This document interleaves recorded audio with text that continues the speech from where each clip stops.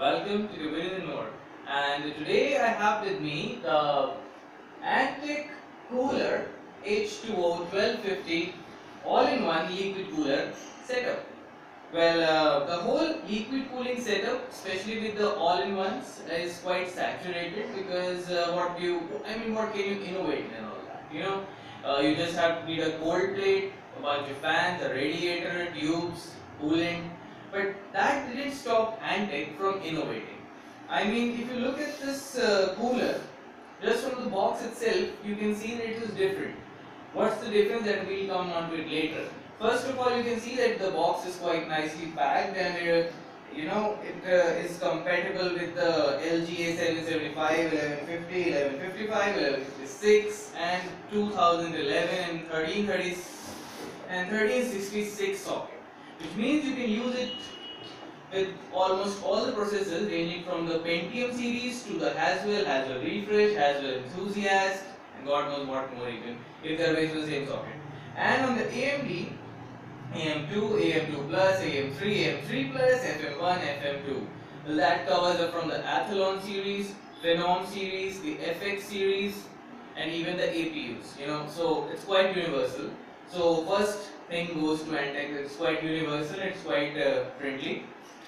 You, it comes with a installation manual, a warranty card. That's a styrofoam. Let's keep it over there, and these as well. The unit comes with uh, all you know the nuts and screws and bolts that you would be requiring.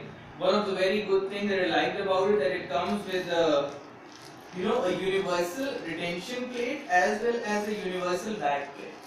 Well, this is quite cool because you know you don't have to deal with a lot of stuff. Like unlike other coolers where you have to have a separate retention ring for Intel and a separate retention ring for AMD and and you know respect and similarly a, a corresponding backplate. This one comes with a universal backplate. The center one is for AMD, the sides are for Intel. If you have an AMD processor, you don't need to use this because the stock backplate does work with this one. That's quite cool and hassle-free installation, quite good. This is the universal retention ring. You just, you know, you can slide these uh, edges up and down and uh, they will accordingly fit for the Intel and the AMD. So you don't have to actually work. You know, you can just slide them like this and you can just put them in the required configuration. Nuts, bolts, stickies, etc. Well, they're quite common nowadays, so you will have to have them. Okay. Ah, yeah. The driver CV. It comes with a grid software for controlling, you know, the RBG uh, light, the RPM of the fan, the monitoring the temperature of the coolant, all those cool stuff.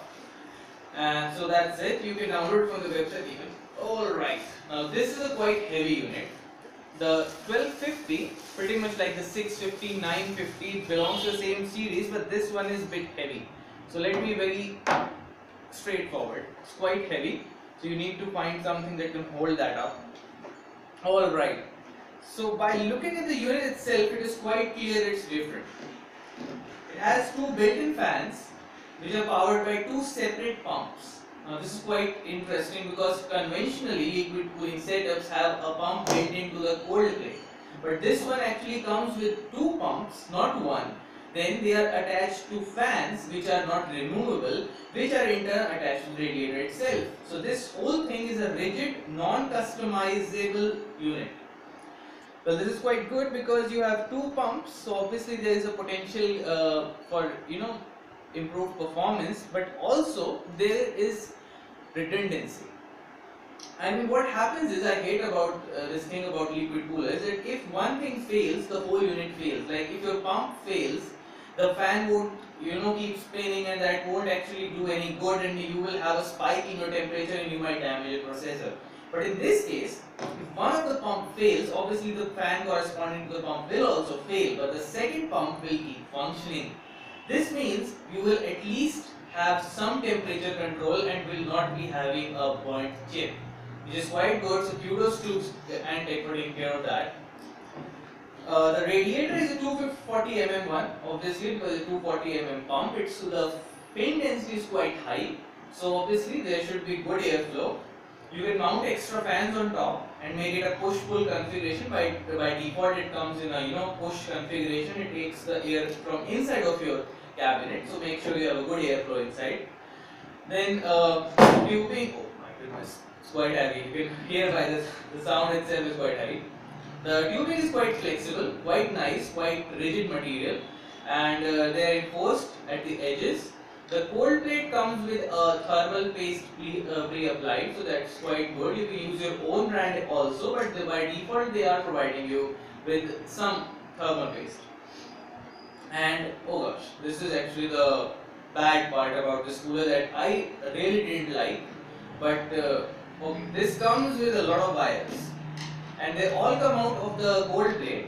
The first one is the uh, you know power power cable. It will go in the system fan of your motherboard. This one is the USB header which will go into the USB port because through this the grid software interact with the cooler and control oil fan and coolant temperature etc etc.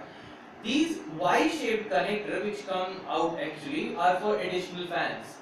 I mean you can connect additional fans to these and then you can mount them on top of this cooler and then put it in a push-pull configuration as we have discussed earlier.